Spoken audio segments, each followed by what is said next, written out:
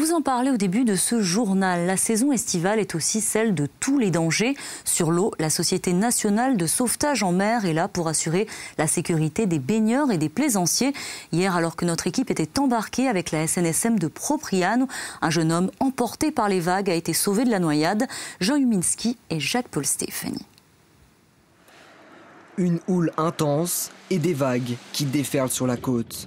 Grâce à l'intervention de la patrouille, ce baigneur est sauvé de la noyade. Cette scène se répète plusieurs fois avec les conditions météo difficiles, mais le champ d'action des sauveteurs ne se limite pas à ça. Ça va du, baigneur qui, peut faire un début de noyade, voire une noyade complète, hein.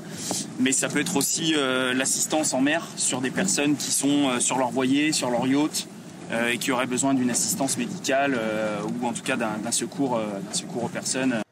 À peine rentré au port après l'intervention, la troisième alerte de la matinée est donnée. Quand faut partir, faut partir, il n'y a pas à chercher à comprendre, il euh, faut y aller. Le Zodiac file à plus de 70 km/h entre les vagues. Il met 10 minutes à se rendre sur le lieu de l'accident, quand une voiture met parfois une heure. Une autre victime est prise dans les rouleaux. Les deux sauveteurs la ramèneront jusqu'à la plage. Sauver la vie des vacanciers, ce n'est pas le métier de Mathieu, ce jeune homme de 20 ans est étudiant en médecine, mais a rejoint la patrouille pour un deuxième été consécutif.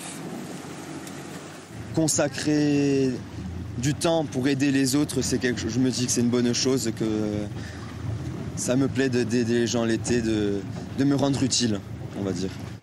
Dans le poste de contrôle, le directeur des sauveteurs en mer de Propriano coordonne ses équipes. Bien reçu, donc je t'informe, on a un catamaran en perdition Malgré la météo, les vacanciers veulent profiter de leurs vacances à tout prix après une année marquée par le Covid. On est vraiment sur une, certaine forme d'inconscience sur des journées à risque comme hier et comme aujourd'hui. On le voit très bien depuis ce matin. Je pense que l'effet confinement peut éventuellement y jouer. Les, gens ont été contenus pendant des, mois, des mois et des mois. Ils ont 10, 10 jours, 15 jours de vacances, il faut en profiter.